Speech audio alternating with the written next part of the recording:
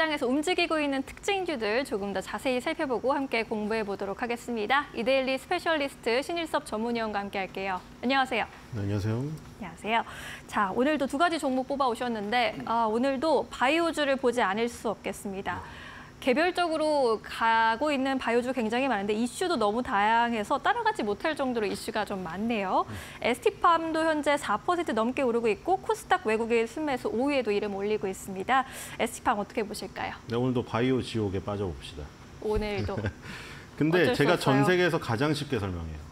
진짜 요즘에 바이오 얘기 많이 나와가지고 경제방송 채널 모여 있잖아요. 솔직히 뭐 다 아는 얘기니까. 네. 거기서 보다가 지금 뭐 머리 아파서 돌리신 분들 지금 여기서 돌리시면요. 바이오 평생 포기합니다. 채널 고정하세요. 아주 쉽게 설명해 주신답니다. 진짜 객관적으로 얘기하는 거죠. 저는. 제, 저, 다른 거는 못 알아먹겠어요, 진짜로. 그래서 지금 ST팜 같은 경우는 ST가 있잖아요. 동아 ST라는 회사가 있죠. 네. 동아 ST 그리고 ST가 그 같은 이어져요. 동아 소시오 홀딩스 이렇게 웃고 계셔. 동아 소시오 홀딩스 진짜라니까. 동, 동아 소시오 홀딩스의 한지붕 가족인데 네. ST팜 같은 경우가 이제 CDMO, CDMO 얘기를 드렸잖아요. 이미 CDMO를 그렇죠. 우리 OEM, ODM 얘기 섞어가면서 얘기했잖아요. CDMO를 하는 기업 중에 하나고 이 그 ST팜 말고 동아 ST 같은 경우는 신학 개발 업체. 그러니까 동아 소시오홀딩스 지붕 아래 이 두 개가 이제 다른 역할을 하는데 요즘에 약간 교집합이 생기는 이런 흐름이라고 보시면 돼요.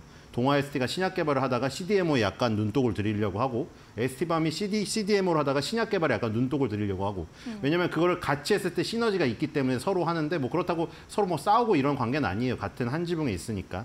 ST밤이 CDMO를 하는데 이 주력이 있습니다. 얘네의 주력 특기는 올리고 올리고예요. 얘네는 CDMO를 하는데 주로 올리고를 만들어요. 그리고 올리고를 만들 때 이제 맨 처음에 원료가 있고 그다음에 모노모란 거를 만든 다음에 그걸로 올리고를 만들어요. 어, 근데 얘네는 처음에 1단계 원료부터 중간 단계 모노모부터 최종 단계 올리고까지 다 뽑아낼 수 있는 시설이 있다고 보시면 될 것 같고요. 그리고 이 올리고가 주- 굉장히 뜨게 된 이유가 코로나 이후에 뜨게 됐어요. 화이자랑 모더나가 굉장히 빠른 시간 내에 mRNA 백신이란 걸 만들었잖아요. 근데 우리가 DNA는 많이 들어봤죠. DNA. 네. 우리 몸에 모든 유전 정보랑 단백질 정보가 다 들어있는 게 DNA예요. 근데 그거는 딱 원본 딱 한 개만 있습니다. 한 장만. 한 장만 있는데 그 한 장만 있으니까 만약에 찢어져 버리면은 끝나죠. 한 장밖에 없기 때문에. 그래서 이제 복사본을 이용하는 거, 이런 거. 이게 지금 복사본이거든요. 이게 찢어져도 상관없어요. 여기 또 있어요. 앵커님한테 또 있어요. 그렇게 되면 복사본이라 이 찢어져도 상관이 없습니다. 그리고 M은 이제 전령이에요. 전령.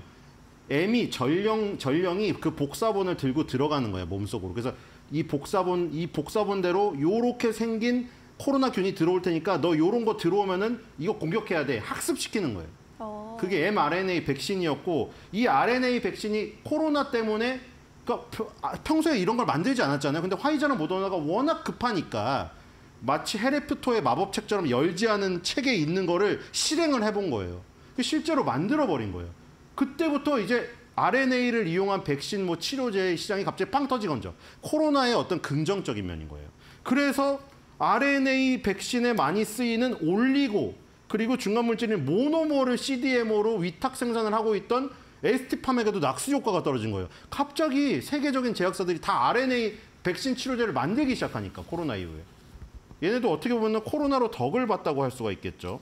그래서 mRNA 백신 시장이 코로나19 팬데믹 시기 이후에 급격히 성장을 하면서 관련 API 시장도 급격히 성장을 했다. API는 원료 의약품이에요. 그러니까 완제 의약품이 있는데 얘네는 완제 의약품을 만들기 위한 원료 의약품을 만드는 회사다. 근데 왜 원료 의약품 CDMO가 뜨느냐? 보통의 회사들이 이 원료 의약품의 원료를 조달하고 이런 공장까지 따로 만들 여력이 없어요. 그렇기 때문에 이런 거는 그냥 위탁 생산 맡기는 게 훨씬 더 효율적입니다. 그렇죠. 그래가지고 이제 에스티판 같은 이런 모델들이 굉장히 각광을 받게 된 것이죠. 그래서 결정적으로 그 변하는 시점도 바로 2020년 코로나입니다. 2018년에 반월 공장 올리고 전용 공장이 있었는데 2020년에 증설을 하고 2022년 2020년에 증설 결정을 하고 2022년에 1차 증설을 하고 2023년에 2차 증설을 했습니다. 그러니까 2018년에 있던 올리고 올리고 전용 공장이 2020년 코로나를 기점으로 해가지고 늘려야겠다는 판단이 들어서 실행을 한 거죠. 그게 결정적으로 코로나였고 그리고 이제 이게 잘 되다 보니까 1,500억 원을 추가 추가 투자해서 반월 공장 1 올리고동 옆에다가 제2 올리고동을 추가 건설하고 있습니다. 내년에 완공 예정인데 이것조차도 두 차례 증설 계획이 미리 세워져 있어요. 그럴 정도로 지금 세계에서 RNA 백신 치료제 개발이 엄청나게 급부상하다 보니까 올리고가 모자라기 시작했고 올리고 전용 CDMO를 찾다 보니까 한국에 ST팜이 있는 거예요. 그래서 ST팜은 CDMO 중에서 oligo 전용 CDMO로 굉장히 지금 그 각광을 받고 있다. 네. 그리고 지금은 글로벌 3위 수준의 capa를 갖고 있는데 아까 말한 제2 올리고당, 올리고 올리고당이 아니죠. oligo동이 완, 완공이 되면은 세계 1위 capa로 올라가게 됩니다. 그리고 지금 그 노바티스의 렉티, 렉비오라는 게 있습니다. 최근에 국내 허가를 받았는데 예. 이게 지금 mRNA 이 지금 치료제예요. 근데 무슨 치료제냐면 그 콜레스테롤 상승하고 염증을 염증을 유발하는 PCSK9이라는 단백질이 있습니다. 이거를 억제하는 siRNA예요. 그 코로나 때는 mRNA라고 전령이 붙었는데 그 si는 소관섬 리보핵산이라고 조그만데 그, 그 단백질을 잘라내는 거예요. 아까 전에 콜레스테롤 상승시키고 염증을 유발하는 PCSK9 단백질 그거를 잘라내는 역할을 하는 거예요. 그래서 이게 왜 유효하냐면 그 요즘에 비만 치료제 막 뜨잖아요. 일라일이랑 노보노디스크에서 비만 환자의 80% 분이 아니 비만 당뇨 환자의 80%에 해당되는 분이 비만을 동시에 앓고 있어요. 그렇죠. 그래서 노보노디스크 일라일리가 동- 당뇨병 치료제에서 비만 치료제로 자연스럽게 갈 수 있었던 것이거든요. 음. 좀 속도를 낼게요. 그래서 당뇨병 치료제가 비만 치료제 되듯이 그렇게 합병증이 온다는 것이죠. 그러면 그 사람은 당뇨약도 먹어야 되고 비만약도 먹어야 돼요. 그리고 그거에 대한 합병증 약도 다 먹어야 되고. 그러니까 약을 엄청나게 먹어야 되는 겁니다. 그래서 당뇨병 환자들 보시면은 약 봉지가 이만큼 수두룩해요. 근데 mRNA 혹은 소간섭 RNA, siRNA를 이용하면 어떻게 할 수 있냐면 네. 3개월에 한 번 혹은 6개월에 한 번 그것도 정맥 주사도 아니고 피하 주사 뱃살이나 뭐 이거 두툼한 살에 맞는 그걸로 끝낼 수가 있어요. 그러니까 수많은 약 봉지가 필요가 없게 되는 거예요. 오. 그러니까 이 만성 질환에도 이 RNA를 쓸 수 있게 되니까 시장이 더 커진 거예요. 어. 그러니까 그 전에는 아까 RNA가 언제 쓰이죠? 코로나 같은 치명적 질병이 갑자기 우리가 알 수도 없는 상황에 다가왔을 때 썼어요. 썼어요. 그리고 희귀 질환에. 근데 이제 이런 비만, 콜레스테롤 환자, 당뇨병 환자에게 만성 질환에 쓸 수 있게 되면서 RNA 시장이 폭발하기 시작한 거죠. 그래서 ST, ST팜도 굉장히 큰 지금 성과를 걷고, 거둬내고 있다. 그 다음에 한 가지 이제 다 CDMO 기업에게 다 해당되는 이슈 말씀드렸죠. 미국 생물보안법 이슈.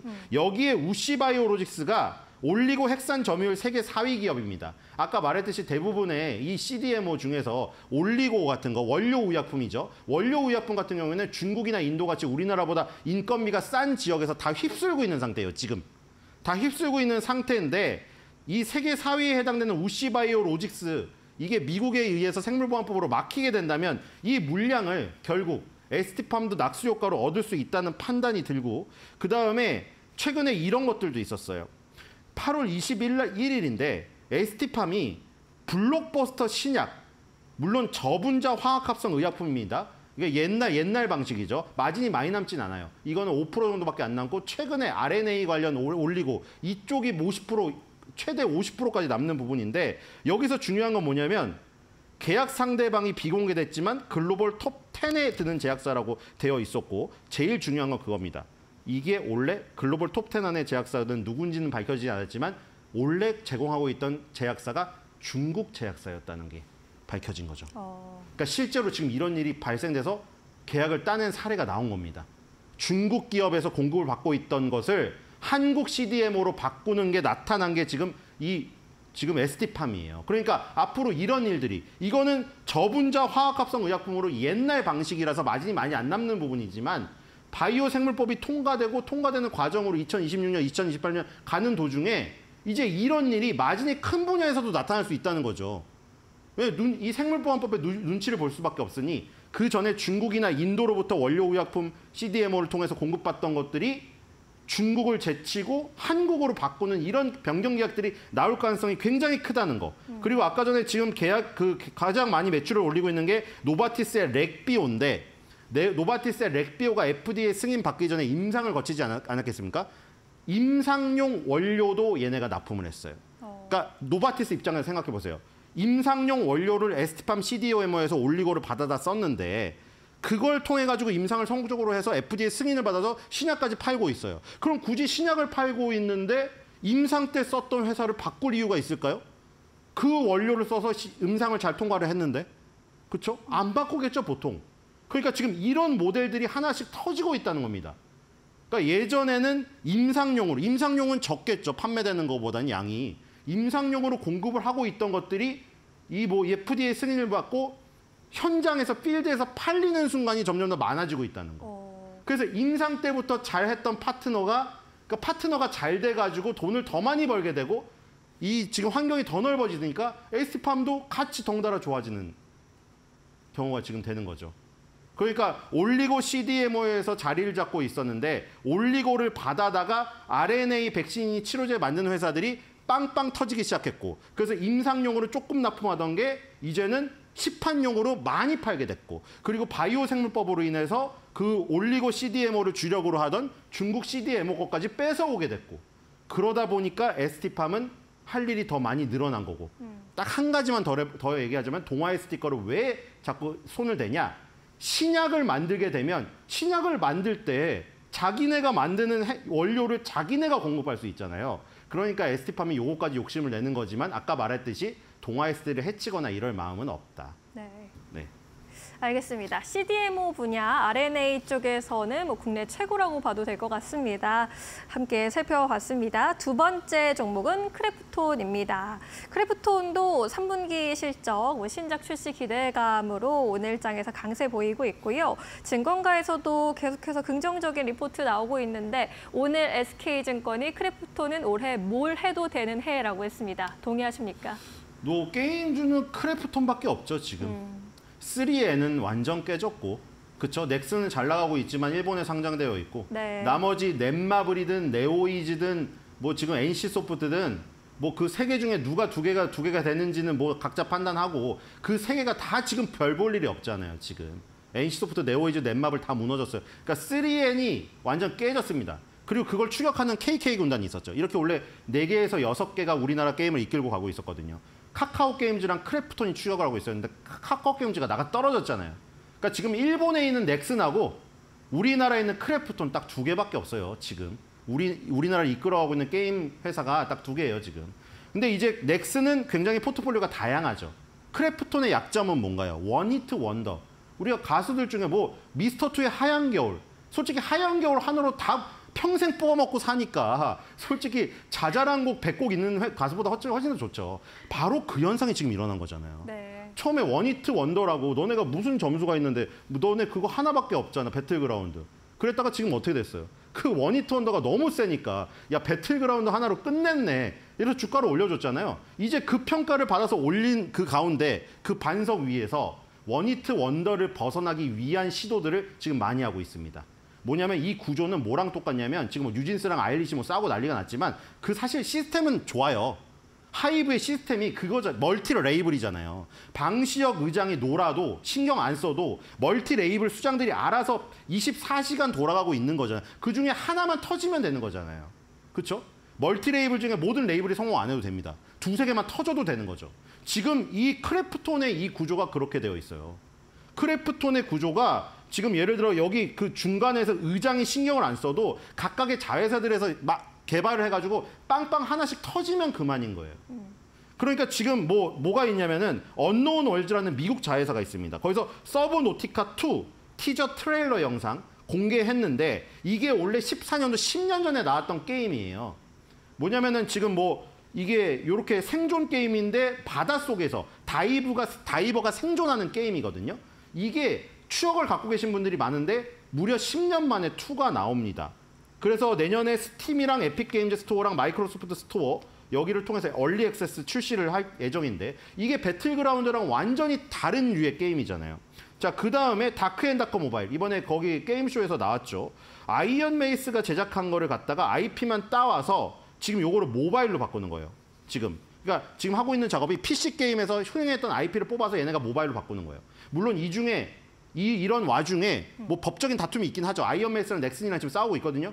뭐 그런 것들이 해결이 돼야 되지만 많이 뿌려놨다는 거. 그거 말고도 많아요. 게임 딩컴이라고. 이거는 호주의 1인 개발자 제임스 밴던이 제작한 패키지 게임인데 요걸 또 모바일화한 겁니다. 어.